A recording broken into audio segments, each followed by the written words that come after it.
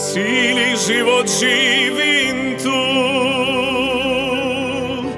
Ko u nekom plavom snu. To je zemlja dide mog I oca mog.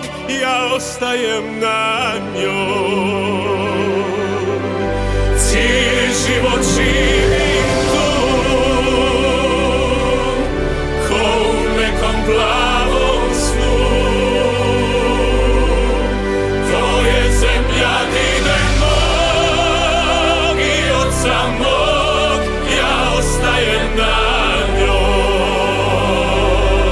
Ponekad zvuči čudno, ponekad smiješno, ali ljepših imena gradova i sela nema ni Evropa cijela, jer naša su mjesta zakon.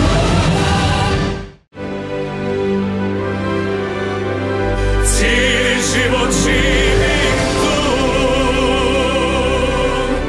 Ko u nekom plavom snu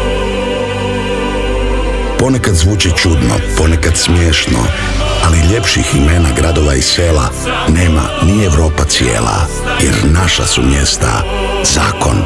Di on je ovaj treći? Hoćeš u ribe? Pa di? Na babinu guzicu. Di? Na babinu guzicu. Cijeli život živim tu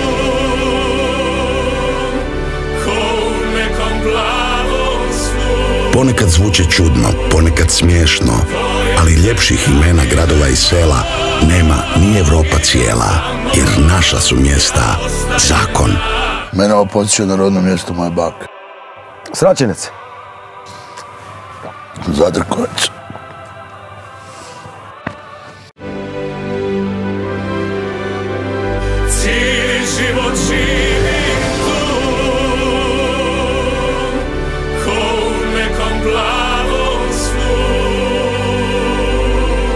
Ponekad zvuči čudno, ponekad smiješno, ali ljepših imena gradova i sela nema ni Evropa cijela, jer naša su mjesta zakon.